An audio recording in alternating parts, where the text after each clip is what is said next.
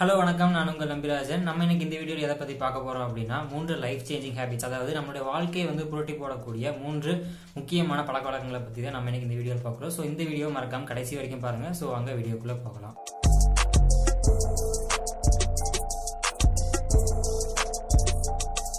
James அப்படிங்கிறவர் வந்து ஒரு டீசென்ட் ஜாப்ல வந்து ஒரு டீசென்ட் சேலரியில வந்து ஒர்க் பண்ணிருக்காரு. அவர் வந்து ஃபிட்னஸ்க்கு பெருசாக இம்பார்ட்டன் தர மாட்டார். ஸோ வந்து ஓரளவுக்கு நார்மல் ஒரு ஃபேட்டாக இருக்கக்கூடிய ஒரு காய் மாதிரி இருப்பார். அதே நேரத்தில் அவருக்கு வந்து ஸ்மோக்கிங் ஹேபிட் அவருக்கு இருந்து வருது. ஸோ டெய்லி வந்து அவர் ஸ்மோக் பண்ணுவார். அவர் நம்ம ஜேம்ஸ்க்கு வந்து ஒரு நாள் ஒரு ஒரு பொண்ணு மேலே வந்து ஒரு காதல் வந்திருக்கு. ஸோ வந்து அந்த- அந்த ஜேம்ஸோட அந்த கேர்ள் ஃப்ரெண்டுக்கு அவங்களோட அவங்களோட அவங்க வச்ச முன்வாதம் என்ன அப்படின்னு பார்த்தோம்னா எனக்கு வந்து ஸ்மோக்கிங் ஹேபிட்ஸ் இருக்கவங்களை கண்டாலே சுத்தமா பிடிக்காது அப்படிங்கிறாங்க. ஸோ நம்மளோட ஜேம்ஸ் என்ன பண்றாரு அப்படின்னா ஸ்மோக்கிங் வந்து ஸ்டாப் பண்ணணும் அப்படின்னு முடிவு பண்றாரு. ஸோ ஜேம்ஸ் என்ன பண்றாரு அப்படின்னு பார்த்தோம்னா ஜிம்முக்கு போறாரு. எஸ் அவரோட பிசிக்கல் ஃபிட்னஸ் வந்து இம்ப்ரூவ் பண்றதுக்காக ஜிம்முக்கு போய் ஒர்க் அவுட் பண்றாரு. ஸோ ஜிம் அதே நேரத்தில் வந்து அவர் புக்ஸ் புக்ஸ் ரீட் பண்ற ஒரு ஹேபிட்டே வந்து தனக்கு தனியாக வளர்த்துக்கிறாரு. இது மூலமா என்ன ஆகுது? இது மூலம் ஜேம்ஸோட லைஃப் என்ன மாறுது அப்படின்னு பார்த்தோம்னா அவருக்கு வந்து ஒரு அவரோட ஜாப்ல இருந்து ஒரு ப்ரொமோஷன் கிடைக்குது. அவரோட சேலரிலையும் ஒரு ஒரு ஹைக் கிடைக்குது.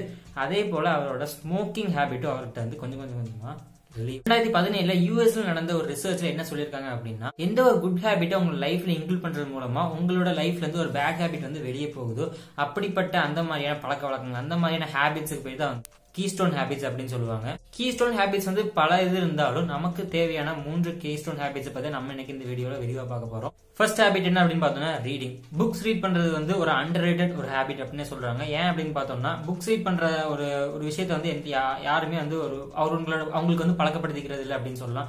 ஏன் அப்படின்னு பார்த்தோம்னா புக்ஸ் ரீட் பண்றது ஒரு போரிங்கான ஒரு விஷயம் அப்படின்னு நினைச்சு எல்லாருமே அவாய்ட் பண்ணிடுறாங்க. ஆஃப்டர் இந்த வீடியோ பார்த்துட்டு எல்லாருமே வந்து அவங்களோட ஸ்கூல் லைஃபோ ஒரு காலேஜ் லைஃபோ டோட்டலாக ஒரு டுவெல் டு எயிட்டீன் இயர்ஸ் வந்து அவங்களோட எஜுகேஷனுக்காக ஸ்பெண்ட் பண்ணியிருப்பீங்க நம்புறேன். அந்த எயிட்டீன் இயர்ஸ்ல வந்து நீங்க வந்து நம்ம ஒரு சோஷியல் ஸ்கில்ஸுங்க அப்படிங்கிறது நம்ம கத்துக்கிட்டு இருந்திருக்கவே மாட்டோம். சோஷியல் ஸ்கில்ஸ் அப்படின்னா என்ன அப்படின்னு பார்த்தா ஒரு ஃபிட்னஸ் பத்தின ஒரு ஒரு விஷயத்தை கத்துக் கொடுக்குறது இல்ல ஒரு மணி மேனேஜ்மெண்ட் பத்தி ஒரு கத்துக் கொடுக்குறது இல்ல வந்து உங்களோட லைஃப்ல இருக்கக்கூடிய ஒவ்வொரு விஷயத்த வந்து இம்ப்ரூவ் பண்றதுக்கான கத்துக் கொடுக்குற மாதிரியான ஸ்கில்ஸ் வந்து நம்ம யாருமே கத்துக்கிட்டு இருக்க மாட்டோம். நம்ம நம்ம நம்ம காலேஜ் லைஃப்ல நம்ம ஸ்கூல் லைஃப்ல நம்ம கத்துக்கிட்டது என்ன அப்படின்னு பார்த்தோம்னா கால்குலஸோ ஹிஸ்டரியோ அந்த மாதிரியான ப்ராக்டிக்கலாவே நமக்கு கொஞ்சம் கூட உதவாத சில விஷயங்களை தான் நம்ம வந்து பதினெட்டு வருஷமா கத்துக்கிட்டு இருந்திருப்போம். பட் அது நம்ம லைஃப்க்கு வந்து கொஞ்சம் கூட தேவையே பட்டிருக்காது. ஆனா இந்த மாதிரியான சோஷியல் ஸ்கில்ஸை நம்ம வந்து இம்ப்ரூவ் பண்றதுக்கு நம்ம வந்து தனியா எதுவும் பண்ண முடியாது. ஸோ அந்த மாதிரி சோஷியல் ஸ்கில்ஸை இம்ப்ரூவ் பண்றதுக்கு நம்மளால செய்யக்கூடிய ஒரே ஒரு வேலை என்னன்னா இந்த மாதிரி புக்ஸ் ரீட் பண்றது அப்படின்னா புக்ஸ் ரீட் பண்றது எக்ஸாம்பிளுக்கு நீங்க பாத்தீங்கன்னா புக்ஸ் ரீட் பண்றதுக்கு முன்னாடி வரைக்கும் எக்ஸாம்பிளுக்கு நீங்க ஒரு ஒரு மணி மேனேஜ்மெண்ட் புக் வந்து ரீட் பண்றதுக்கு முன்னாடி வரைக்கும் நீங்க என்ன நினைச்சிட்டு இருப்பீங்க? உங்க மைண்ட்ல என்ன நினைச்சிட்டு இருப்பீங்க அப்படின்னு பார்த்தோம்னா நம்ம ஒரு கார் வாங்கணும். நம்ம கண்டிப்பா ஒரு கார் வாங்கணும் அப்படின்னு நினைச்சிட்டு இருப்பீங்க. பட் நீங்க ஒரு மணி மேனேஜ்மெண்ட் ரிலேட்டடா ஒரு புக் ரீட் பண்ணதுக்கு அப்புறம் நீங்க என்ன என்ன யோசிச்சுட்டு இருப்பீங்க அப்படின்னு பார்த்தோம்னா நம்ம வந்து ஒரு ஒரு காரை வாங்குறது வந்து புத்திசாலித்தனம் கிடையாது. ஒரு காரை வந்து லீஸுக்கு எடுக்கிறது தான் ஒரு புத்திசாலித்தனம் அப்படிங்கறத நீங்களே புரிஞ்சுக்குவீங்க. அதே போல நீங்க வந்து ஃபிட்னஸ்ல நீங்க கொஞ்சம் கூட ஒரு ஈடுபாடு இல்லாத ஒரு பய ஒரு ஒரு ஒருத்தரா இருக்கலாம். அதே நேரத்தில் நீங்க ஃபிட்னஸ் ரிலேட்டடா ஒரே ஒரு புக் ஒரே ஒரு புக் மட்டும் ரீட் பண்ணா போதும். நீங்க அந்த புக்ல இருக்கக்கூடிய உங்களுக்கு இருக்கிற டாட்ஸ் வந்து உங்களுக்கு உங்களுக்கு தனி ஒரு பெர்ஸ்பெக்டிவாக வந்து உங்களுக்கு அமைச்சு கொடுக்கும். அதே போல உங்க லைஃப்பில் இருக்கக்கூடிய ஒவ்வொரு பெர்ஸ்பெக்டிவும் வந்து உங்களுக்கு வந்து இம்ப்ரூவ் ஆகிறதுக்கு வந்து புக் ரீடிங் வந்து ஒரு நல்ல எசென்ஷியலான ஒரு ஹேபிட்டாக இருக்கும். ஸோ புக் ரீடிங்கிற பொறுத்த வரைக்கும் நான் எந்த எந்த மாதிரியான புக் சொல்கிறேன் அப்படின்னு பார்த்தோம். நான் ஃபிக்ஷன் புக்ஸ் அப்படின்னு சொல்கிறேன் எக்ஸாம்பிளுக்கு செல்ஃப் இம்ப்ரூவ்மெண்ட் புக்ஸ் அந்த மாதிரி புக்ஸ் வந்து படிக்கிறது மூலமா உங்களோட நாலேஜ் வந்து ஷோர் ஷார்ட்டாக வந்து இம்ப்ரூவ் ஆகும். ஸோ இரண்டாவது ஹேபிட் என்ன அப்படின்னு பார்த்தோம்னா மெடிடேஷன் நம்மளோட பாடிக்கு நம்ம வந்து ஃபிசிக்கலாக நம்ம ஃபிட்னஸுக்கு ஒர்க் அவுட் நம்ம பண்ணுற மாதிரி நம்மளோட பிரெயினுக்கு கண்டிப்பாக வந்து ஒர்க் அவுட் தேவை. ஏன் அப்படின்னு பார்த்தோம்னா நம்ம காலப்போக்கில் அது வந்து ஒரு மழுங்கி போய் கிடக்கும். அதுபோல் பிரெயினுக்கும் நம்ம ஒர்க் கொடுக்கக்கூடிய ஒரு ஹேபிட் மாதிரி தான் நம்மளோட மெடிடேஷன் தியானம்.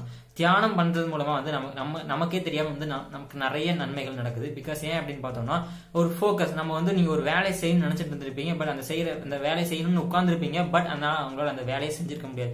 ஏன் அப்படின்னு பார்த்தோம்னா நீங்க வந்து ஒரு ஒரு இப்போ நீங்க எக்ஸாம்பிள் நீங்க புக் படிக்கணும் ஒரு இல்லை ஒரு ஒரு உங்களுக்கான சப்ஜெக்ட் புக் நீங்க ரீட் பண்ணணும் அப்படின்னா நீங்க புக் எடுத்து நீங்க டேபிளில் உட்காந்துருப்பீங்க நீங்க புக் ரீட் பண்ணி அந்த படிச்சுட்டே இருந்து கொடுத்துருப்பீங்க திடீர்னு ஏதோ ஒரு டிஸ்ட்ராக்ஷன் வந்துடும் இல்ல யாராவது கூப்பிட்டாங்க இல்ல மொபைலில் நோட்டிபிகேஷன் வந்துச்சு அந்த மாதிரி தேவையில்லை டிஸ்ட்ராக்ஷன் வந்துடும் அந்த மாதிரி டிஸ்ட்ராக்ஷன் இல்லாம உங்களால் ஃபோக்கஸ் பண்ணிட்டு உங்களால் கண்டிப்பாக படிச்சிருக்க முடியாது.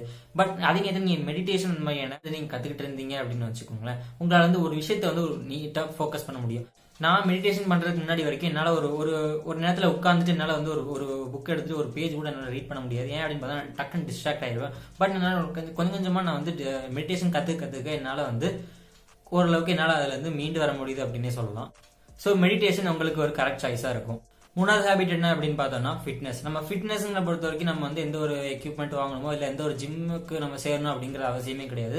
நீங்கள் உங்களோட வீட்டிலேயே வந்து நீங்கள் ஒர்க் அவுட் பண்ணிக்கிட்டாலும் சரி நீங்கள் அதில் ஒரு ஜாகிங் போனாலும் சரி இல்லை வாக்கிங் போனாலும் சரி உங்களுடைய பாடி நீங்கள் உங்களோட ஃபிட்னஸ் வந்து நீங்கள் கரெக்டாக மெயின்டைன் பண்ணுறதுக்கு ஏதோ ஒரு ஒரு ஏதோ ஒரு ஆக்ஷன் எடுத்தால் போதும். அந்த மாதிரி டெய்லி ஒரு ஹாஃப் அன் ஹவர் மட்டும் நீங்கள் உங்களுக்கான உங்களுடைய பாடிக்கு நீங்கள் தனியாக வந்து ஹவர் ஸ்பெண்ட் பண்ணால் போதும். இதனால ஃபிட்னஸ் வந்து ஒரு கீஸ்டோன் ஹேபிட் அப்படின்னு சொல்கிறோம் அப்படின்னு பார்த்தோம்னா ஃபிட்னஸ் நீங்கள் ஒரு ஒரு உங்களுக்குன்னு உங்கள் வெயிட் லிஃப்ட் பண்ண ஆரம்பிச்சிட்டீங்க அப்படின்னா நீங்களே உங்களுக்கு தானாகவே நீங்களோட டயட் ஹேபிட்ஸ்லேயே உங்களுக்கு உங்களுக்கு ஒரு பெரிய மாற்றம் வர்றது தெரியும். ஏன் அப்படின்னு பார்த்தோம்னா நீங்கள் வந்து நீங்கள் மார்னிங் வந்து ஒரு டெய்லி நீங்கள் வெயிட் லிஃப்ட் பண்ணுறீங்கன்னு வச்சுக்கோங்களேன். நீங்கள் உங்கள் வீட்டுக்கு போனதுக்கப்புறம் நீங்கள் வந்து ஒரு நார்மலான டேல நீங்க வந்து ஒரு பிரெட் சாப்பிட்டுருப்பீங்க இல்ல நீங்க ஏதோ ஒரு ஒரு தேவையில்லாத சுகரி ஐட்டம் சாப்பிட்டுருப்பீங்க இல்ல ஒரு தேவையில்லாத கெட்ட கொழுப்பு இருக்கக்கூடிய ஏதோ ஒரு ஐட்டம் சாப்பிட்டுருப்பீங்க.